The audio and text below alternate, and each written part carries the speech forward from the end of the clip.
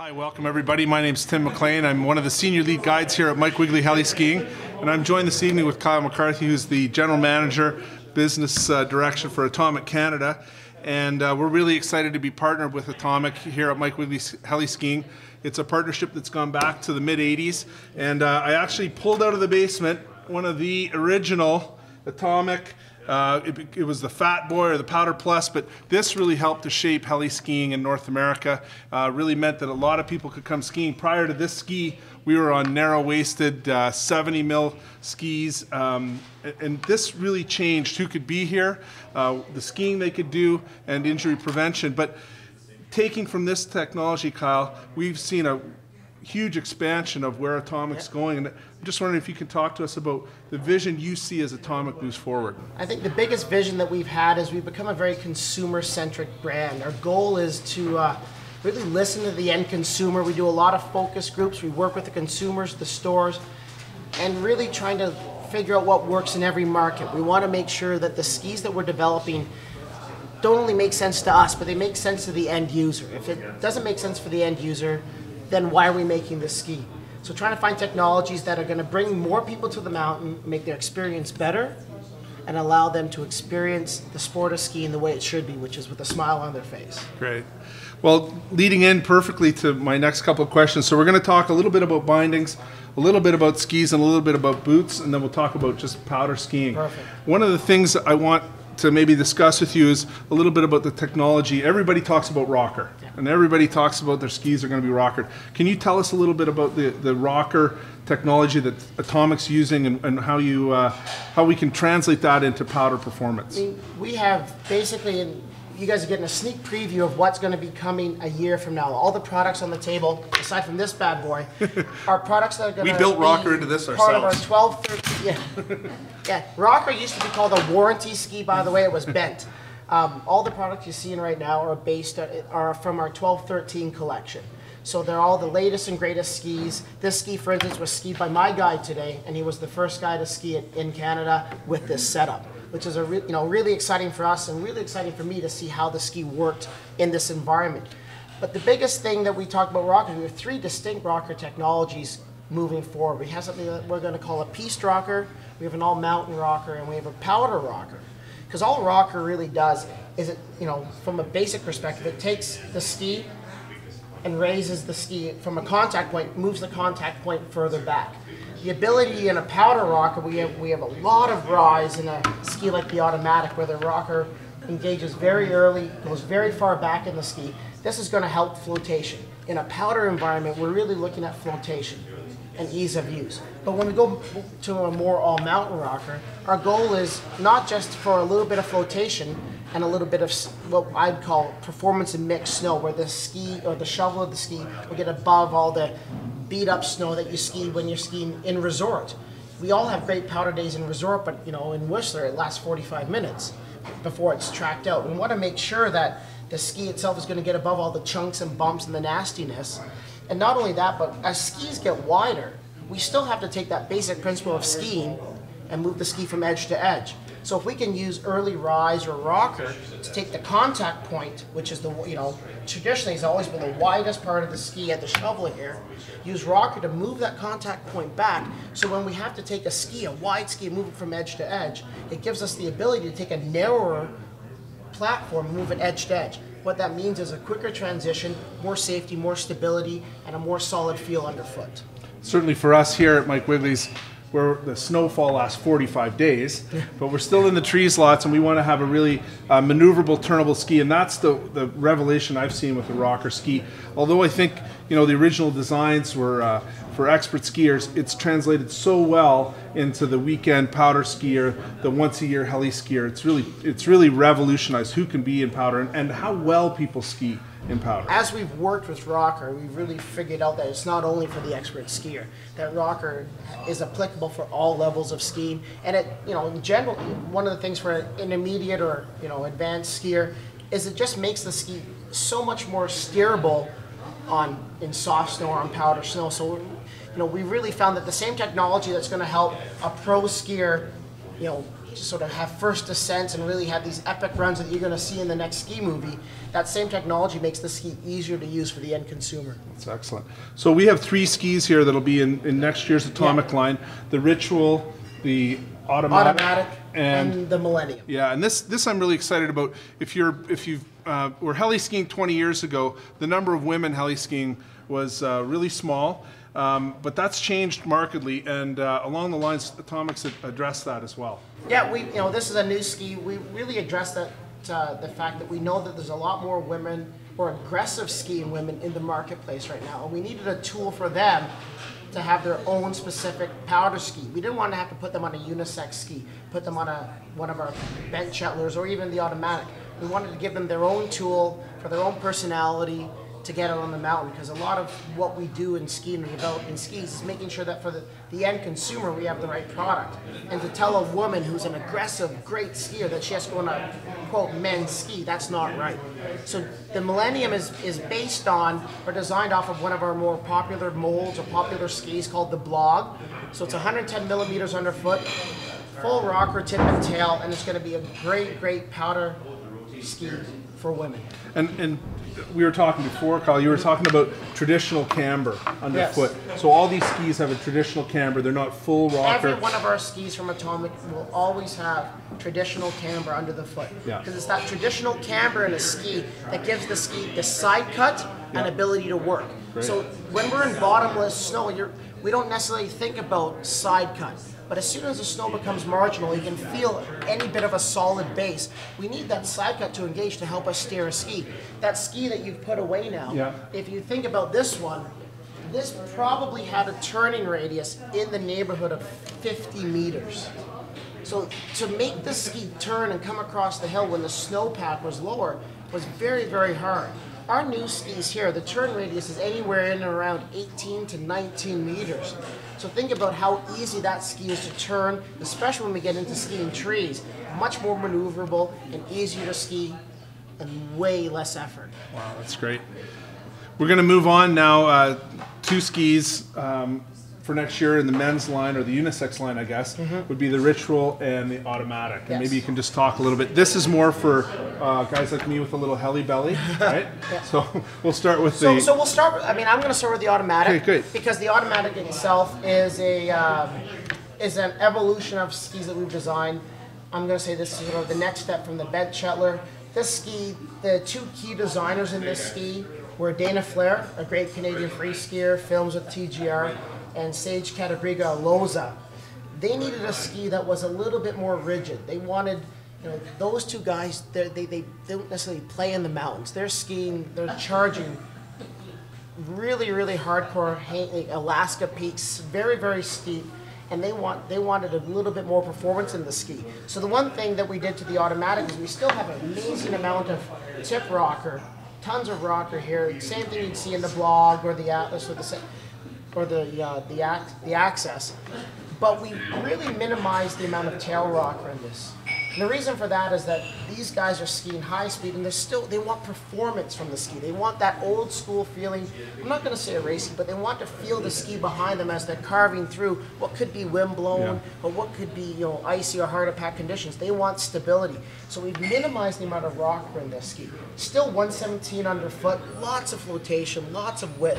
But really, you know, really trying to get a performance orientation towards the powder ski.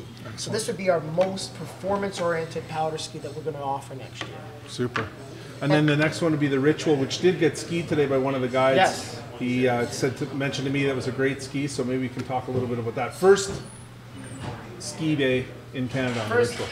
it was my guy who was uh, fortunate enough to be Beskias today. Bill, thank you very much. We, we're getting told to move over a little bit. We're good. So the ritual here, it's from a new family. It's a new collection that we're going to offer in 1213. It's called the Vantage Collection. And this is what we're going to call basically our new all-mountain family. This is a ski that can be skied in and out of resort. The ritual itself, the Vantage Ritual, is 103 underfoot. And I just want build a few you know, quick comments on your experience, first guy skiing it in Canada. Well, uh, quite a privilege. We started off skiing higher in the uh, tree line alpine, so it was wind blown. It was almost firm to start off with, and then it started getting soft. Skied great. turn short radius, longer radius, and then we started getting into, into about this much powder at the deepest, and it worked on the, the firmer stuff, and it worked real nice, and it was a fun, playful ski. Good all around. Good all around, easy Yeah. skiing, but yet you could power it a little bit and make it turn. So it was just a, a pleasure to be on it. Great. And, and that's what I like to hear because the whole idea with this series is that we want to make a ski. Obviously, not everybody has the luxury of skiing day in, day out in a helicopter. So we need to make a ski that's going to have great performance for us to, you know, in environment in an environment like this where we're skiing powder and you know we don't want to we don't want to lose anything, but we want to be able to take this ski home to our resort, get on a lift and have as much fun on it inbounds on either hard pack, groomed, mixed snow, or the occasional powder day we get in resort, and have it, you know, and have one tool. We don't. I don't want to make people buy three skis Right. for everything they do. And I think you know, based on your experience today, seeing you ski, it looks like so far, you know, we've hit a home run, and it's gonna, it's doing what we want it to do. Yeah, I would I would take this back to hometown Whistler and give it a give it a run for its money. Oh, that's great. Excellent. So you were also, Thank Billy, you also skied on the new binding, the new atomic tracker Yeah. binding? And that was a that was a, a pleasure. I made these guys. You know, we had variable weather. We had we so we decided to, to take it across the flats and broke some trail. I think that's called missing the landing. No, no. we went past it. Okay. So I decided I'd give it a quick try, and I never stepped out of it. I just clicked up and skated across the flats, and it was just a, a, a pleasure. And then I was really apprehensive about how the snow was going to stick underneath. Yes. And I flicked it, flicked back the, the walk out of walk mode, and um, I was told, okay, we have to give it a good stamp, and I just touched it down, and it was it stuck right down. It was just a real quick, easy, easy from from uphill to downhill mode. Just Excellent. real one step, easy. Great. Thanks, Billy. You're welcome, Tim. Yep, see you in the mountains. Thank you. Thank you. So on that note, maybe Kyle, you can talk about wh- where this new bindings come from, uh, the concept for Atomic, and who you're appealing to. I know that the guides are going to be on this binding next year. We're really excited about that. We, we want to be mobile in the mountains. Um, on the off chance you might miss a pickup, doesn't happen often, hopefully, but uh, it does provide a, an added measure of safety for mobility. Maybe you can talk a little bit about the tracker. Well, I think the biggest thing with our new with the new atomic tracker, or the the reason that we've sort of developed this binding is that there's so much of an emphasis now on people get into the backcountry. We all know and lift lines are growing in certain resorts, but we also we see this big influence from backcountry touring. And not everybody's going to want to do a multi-day tour. Sure. But to have that, you know, I'm going to say the heli experience for free, to get off the top of a lift and be able to get that extra 500 feet that nobody else in the resort's going to get. That's what really this binding is designed for. So the ability of the tracker to, you know, to, to allow people to get to, I'll say, unscathed terrain is Yep. really what we've wanted to do. Um, and the marketplace for touring bindings is growing substantial. It, it's mind-boggling how quickly Right. this has just come on in the marketplace and is growing. The biggest difference with this binding compared to what's on the market now, or the mainstream market now, is that you don't have to get out of your binding. You don't have to click out, take your boot out of the system to engage the walk mode. You simply take the lever at the back with your ski pole, flick it back, and the binding's going to release. So you're not going to worry in an environment, say like this, of worrying about snow clog. You're not going to Yep. get snow on the bottom of your boot, have to step back in and, and worry about clearing your, your boot sole. Then the other nice thing is when you want to go back in, you simply, like Bill said, you just step down fairly lightly, and you're going to be completely engaged in what is a very solid alpine binding.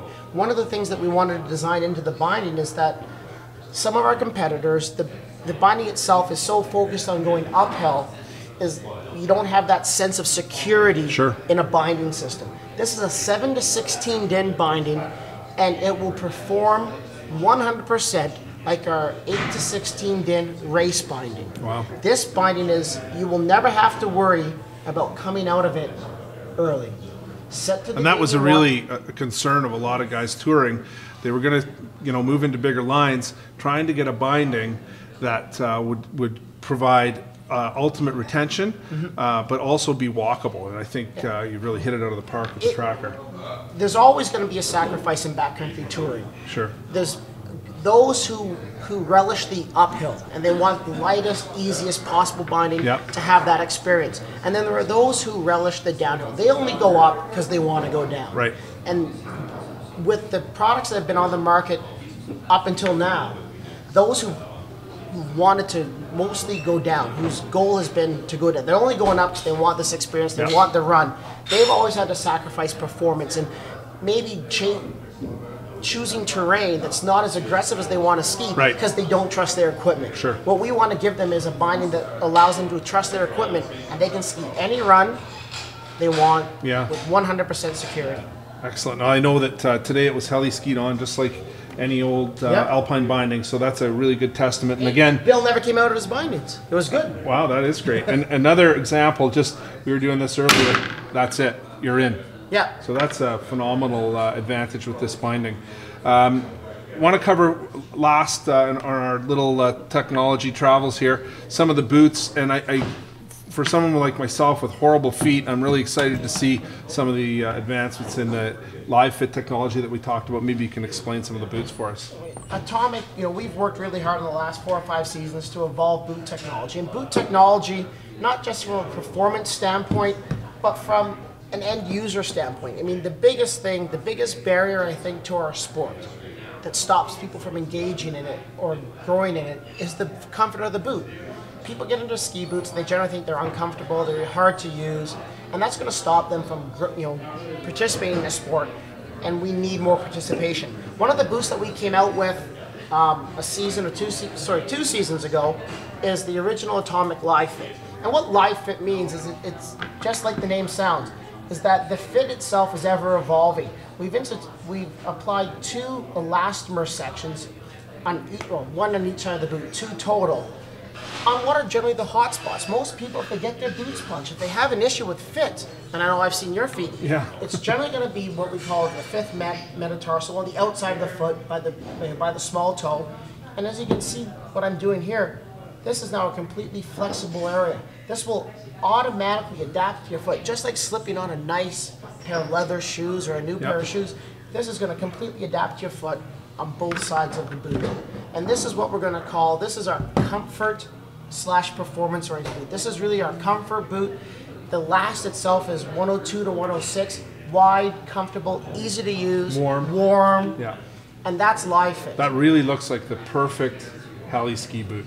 It provide, it's going to provide the performance that uh, people are looking for to be out all day, uh, you know, skiing powder, but also the comfort. And that's, Yep. you know, uh, a big issue for our clients to be comfortable all day, to have warm feet. I think that boot's going to be a, a, a huge hit. And I think one thing that people forget is that, you know, just like we are, our feet are living, they're evolving. And throughout the day, depending on your hydration, how much red wine you drank the night before, your feet change. You could get up one day, come here fully hydrated, not had a drink, ski, go to dinner, bottle or two of red wine, get up the next morning, your boots feel like some, it's a different boot. So the goal here with Life, I mean, that's a big thing too, is that this boot will constantly adapt to your foot Great. throughout your ski day. It's always going to fit. It's going to change. It's going to adapt to your foot.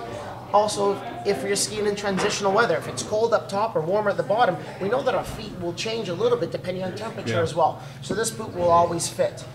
But we also wanted to transition life, and we, we said, well, this is a great, what we'd call intermediate or well, not necessarily high-end recreational option, but what about the narrower foot person or the more performance-oriented person who wants that tight, tight fit? So coming for 1213 is a new technology called LiveFit Performance. We've mo- moved LiveFit Performance to a 98 millimeter chassis. 98 millimeters is sort of that reference width for performance-oriented boots. But we've taken LiveFit and we've only put it on the outside, the lateral side, because this is generally that hot spot you get when you're trying a boot. Yeah. We've left the medial, the inside part of the boot, completely alone, because this is that performance part of the boot. This is where you want maximum performance. But the new LiveFit perform, our new LiveFit technology here will really allow that performance skier to have the best fit throughout the whole day as well, Wow. and minimize the amount of boot work we have to do. And, and there's a, a walk mode as well. This boot is this boot is called the Tracker. So we have a whole Tracker series, men's and women's, which is a releasable. We call it the power control release or a releasable back mode. This gives us a walk mode, and is our performance touring boot. And again, this boot is not designed for that multi-day lightweight tour. This is the boot that's designed for the guy that, the guy or the girl whose primary goal is enjoying the downhill portion of their backcountry experience. Wow. So this line looks like it's going to be the, the optimal uh, setup for anyone wanting to be uh, backcountry skiing or heli skiing. Let's I just- hope so. Yeah, me too. We're looking forward to it. I know one of the guides is on a live fit boot, ranting and raving about it already. Let's just talk about the future for Atomic and where you see Atomic going. I know you mentioned that it's uh, very much consumer driven now. Um, where do you see the future of Atomic? I know you've really, for many, many years, Atomic has driven the race market, but it really looks to me like they've taken uh, a serious um, direction towards the free ski market, the powder market. Um, maybe talk about that quickly. I think the biggest thing Atomic's done, as I, and as we look to the future, everything I've heard, seen, is that we're going to continue doing is we're going to we're, we're consumer centric, like I said before. The race market is still very very important in Europe. Racing drives the European ski market. Yeah. However, we've taken a hard look at the North American market, and we have a huge focus on the North American market. And it's almost like if you look at our whole catalog, we have two product lines. We have a European specific or a European collection that's available for everybody. But then they will also have the other half of the collection that's North American driven. And I think our goal is to continue to, to grow organically. We, you know, we cannot we, we can't define where we're going to be three years from now. All we can say is that we're going to listen to the consumer. Because to try to push that, okay, this is where we want to be. This is the ski I see for 2016, 2017. Well, that's a you can't do that because Yeah. you don't know what the consumer's going to want. What, what's the consumer going to want? What's the consumer going to need? We keep trying to evolve technologies. Our goal is always to make skiing easier and more pleasurable for the end consumer. We want more people to enjoy the sport. So our goal is going to be to progress our production, pro- progress our products to a point where we can have everybody enjoying the product and enjoying the sport. What that looks like five years from now, we're not going to know. But the goal is going to be to make sure that we keep engaging the consumer using guys, you know, like you, using Mike Wiegele's as a, as a platform for R&D discussions. What do we need to do and how do we need to do it? And also going to our local ski hills and local dealers and making sure that we're listening to the consumer. Well, what I've seen certainly uh, this week from Atomic, I, I think the consumer's going to be not only excited, they're going to be blown away by the performance. Final discussion on skiing, powder skiing. Mm-hmm. Anything you want to tell us? Do it. Yeah, Come out here and have fun because there's nothing like it. Kyle, thanks so much.